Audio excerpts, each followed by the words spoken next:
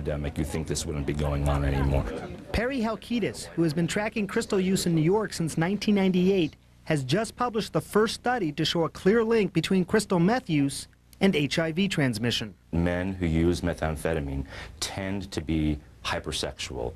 They tend to have higher levels of anonymous partnerings, more partners, more men that they have sex with unsafely than men who do not use this drug. I have patients who tell me they haven't had sex for the last three years without being high on crystal. Methamphetamine in New York City is right now primarily a problem in the gay community.